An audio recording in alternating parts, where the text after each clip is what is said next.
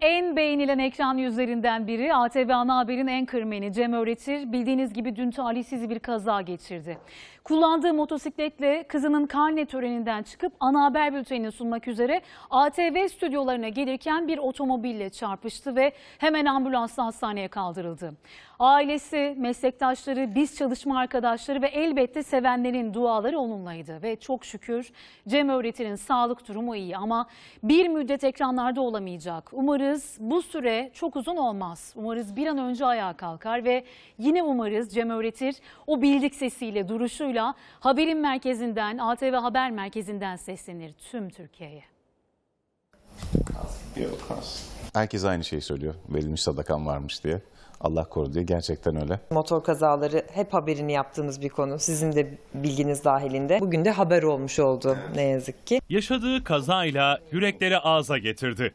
Ekranların sevilen enkırmeni ATV ana haber spikeri Cem Öğretir motosiklet kazası yaptı. Sevenlerini üzdü. Kaza trafik akışının yoğun olduğu bu noktada yaşandı. Cem Öğretir motosikletiyle birlikte bu yolda ilerliyordu ve yan yolda bulunan bir araba ana yola çıkmak için aracı sola kırdı ve tam da bu noktada o korkunç kaza yaşandı. 30-40 kilometre hızla gidiyordum. Hani sinyal var mıydı, yok muydu? Gerçekten dikkat etmedim, göre- göremedim. Muhtemelen o kişi de beni göremedi. Sağ olsun dün geldi zaten. Özür de diledi. Karşılıklı özür dileştik. Kazadan sonra Cem Öğretir'in kaburgaları ve köprücük kemiğinde 17 kırığı oluştu. Muhtemel ki bir ameliyat söz konusu olabilir. Ee, ama şeyde kaburgalarıma müdahale edilmeyecek. Kaburgalarda daha çok kırıklar var. Korktum ama iyileşeceğinden eminim. Çok endişelendik hepimiz. Çok korktuk ama neyse ki e, 17 kıra çok şükür diyecek noktadayız. Cem Öğretir tam bu noktada yere düştü ve olay yerindekiler tarafından ambulansla hastaneye kaldırıldı. Motosikleti ise yaklaşık 5 metre boyunca sürüklendi ve bu noktada durdu. İşte hala olay yerinde de motosikletin parçalarını görmek mümkün.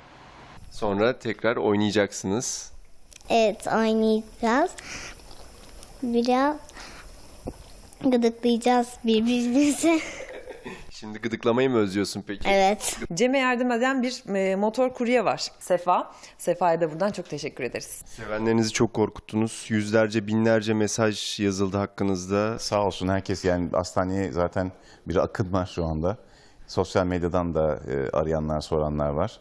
E, hepsine çok çok teşekkür ediyorum. Bütün herkese sesleniyorum. Motosiklet kullanan özellikle.